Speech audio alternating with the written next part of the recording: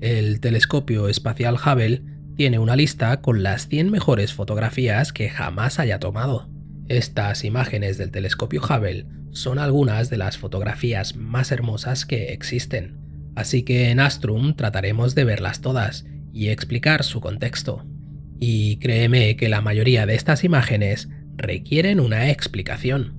Soy Rafael González y estás viendo Astrum, y en el episodio de hoy echaremos un vistazo a varios tipos de galaxias, incluida una de las galaxias más lejanas que conocemos, todas vistas por el Hubble con exquisito detalle. Además, hoy tengo que mencionar que en mi otro canal, llamado Historia Geopolítica, hablaremos de la rama espacial del ejército de los Estados Unidos, llamada Space Force. ¿Qué pretenden los Estados Unidos conseguir con un ejército espacial?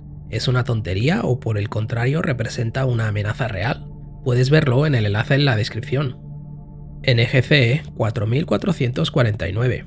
Al principio pensé que se trataba de la nube de Magallanes, pero en realidad es una galaxia pequeña e irregular, en un cúmulo llamado Canes Venatici, a unos 12 millones de años luz de distancia.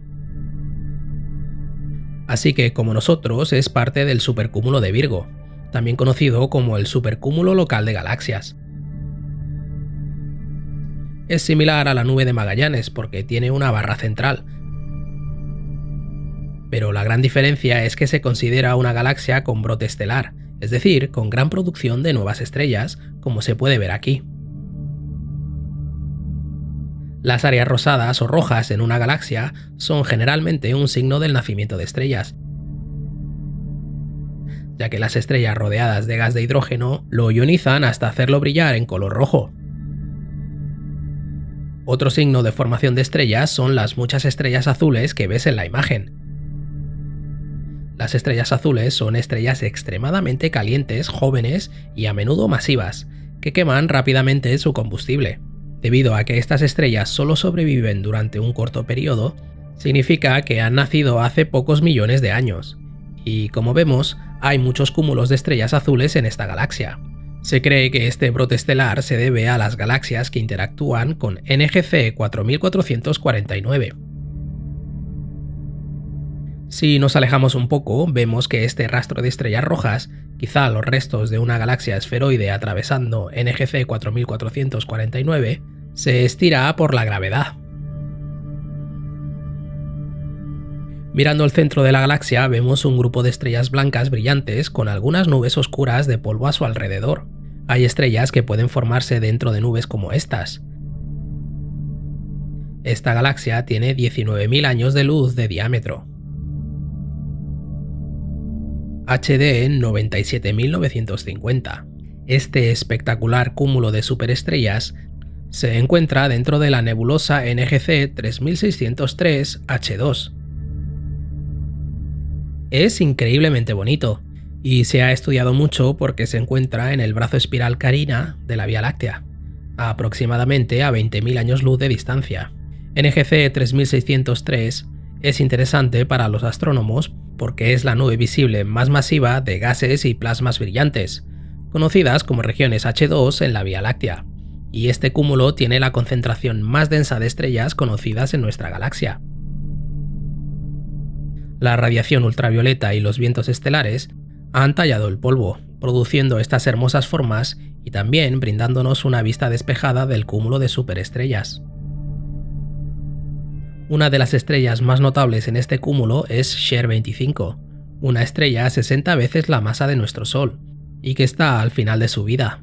Se espera se convierta en supernova en cualquier momento, ya que está lanzando materia de manera similar a lo que se ha visto en otras supernovas.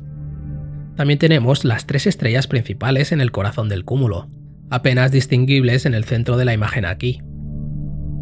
Las tres son estrellas Wolf-Rayet, cada una de las cuales tiene aproximadamente 100 veces la masa del Sol y millones de veces más luminosas. Dos de ellas están muy juntas, formando un sistema estelar binario, y solo tardan tres días y medio en orbitarse así que prácticamente se tocan y sin duda intercambian masa y tienen una increíble influencia gravitacional entre sí. Al alejarnos vemos que NGC 3603 está justo al lado de otra nebulosa, NGC 3576. Pero en realidad esa otra nebulosa está aproximadamente a la mitad de distancia de nosotros, pero se alinean visualmente. Messier 74 De nuevo, en un principio pensé que esta imagen era otra, la famosa galaxia del remolino. Y poniéndolas una al lado de la otra, estas galaxias parecen muy similares. Para empezar, ambas son galaxias espirales y tienen patrones de polvo similares entretejidos en sus brazos. Pero al compararlas, se puede ver que hay ligeras variaciones. Los brazos de M74 están salpicados de estrellas azules calientes, con regiones de formación de estrellas rosadas y rojas por todas partes. Puedes pensar que los brazos de galaxias como estas son brazos estáticos que giran alrededor del núcleo de la galaxia. Pero en realidad son el efecto visual de las ondas de densidad. A medida que el gas y el polvo orbitan la galaxia, pasan a través de las ondas de densidad de la galaxia, comprimiendo el gas y el polvo que hace que se formen estrellas. Las estrellas existentes también se agrupan en estas ondas de densidad. Muchas de estas estrellas serán azules y de corta duración, quizás completando su ciclo de vida en solo unos pocos millones de años. M74 está a unos 32 millones de años de luz de distancia y tiene un brillo superficial bajo, lo que la convierte en uno de los objetos Messier más difíciles de observar para un astrónomo aficionado, y le da el sobrenombre de la galaxia fantasma. Probablemente sea un poco más pequeña que nuestra propia galaxia, la Vía Láctea, que contiene alrededor de 100.000 millones de estrellas y tiene 95.000 años luz de ancho. Se encuentra en el grupo M74, un pequeño y remoto grupo de galaxias. ARP 148 ¿Qué crees que podría ser esto? Pausa el vídeo y escribe en los comentarios lo primero que se te pase por la cabeza pues esta extraña forma que se encuentra a unos increíbles 500 millones de años luz de distancia de nosotros es una galaxia, y recibe el sobrenombre del objeto de Mayal. De hecho, lo más probable es que se trate de dos galaxias fusionadas. La teoría principal sugiere que la colisión inicial creó una onda de choque que atrajo la materia hacia el centro antes de expulsarla hacia el anillo que ves. La cola es una serpentina de estrellas de una de las galaxias, lo que sugiere que se trata de una colisión todavía en curso. Está incluida en el catálogo ARP, que es un atlas de galaxias peculiares. Abel 2218 Ahora, si creías que la última imagen estaba a una distancia impresionante, echa un vistazo a esta. Abel 2218 es un impresionante cúmulo de galaxias a 2100 millones de años luz de distancia. Cúmulos como estos son particularmente interesantes desde el punto de vista científico, porque la inmensa gravedad de estas galaxias deforma la luz actuando como una lente que permite ver galaxias aún más allá. Estos largos arcos son en realidad la luz de una galaxia distante, estirada y deformada por la gravedad del cúmulo de galaxias más cercano. Esta imagen es una de las galaxias más distantes conocidas a una distancia de unos 13.000 millones de años luz. En esta imagen apenas se ve, pero en una imagen realzada podemos distinguir su alargada apariencia. Debido a este efecto de lente, la galaxia en realidad aparece dos veces en la foto, tanto aquí como aquí. Lo vemos desde la Tierra como estaba a solo 750 millones de años después del Big Bang, lo que significa que estamos mirando hacia atrás en el tiempo al universo temprano. Hay alrededor de 10.000 galaxias solo en esta imagen. Abel 1703 Este es otro cúmulo de galaxias, con el mismo efecto de lente que el de la imagen anterior, así que vamos a explicar con más detalle cómo funciona. En primer lugar, hemos de mirar a un objeto masivo y distante. La teoría dice que la gravedad puede deformar el espacio-tiempo, un tema del que haré vídeo algún día.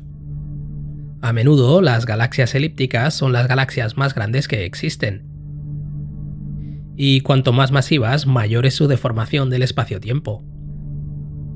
se aprecia con el efecto de lente alrededor de la gran galaxia elíptica en el centro de esta imagen. A medida que el espacio-tiempo se deforma, la luz se desvía alrededor de la galaxia y si se alinea correctamente, nos crea una visión ampliada del otro lado de la galaxia. Una lupa natural y práctica que flota en el espacio. Y sobre este cúmulo de galaxias, Abel 1703 está a unos 3.000 millones de años luz de distancia. Y vamos a guardar las siguientes imágenes del Hubble para otro vídeo. Muchas gracias a los mecenas que me apoyan en mi misión de divulgar la ciencia. Si tú también quieres aparecer en esta lista, puedes apoyarme en Patreon. Tienes el enlace en la descripción. Recuerda suscribirte y tocar la campanita para no perderte ningún vídeo. Y regálame un me gusta y un comentario para que YouTube difunda este vídeo. Un fuerte abrazo y nos vemos en el futuro.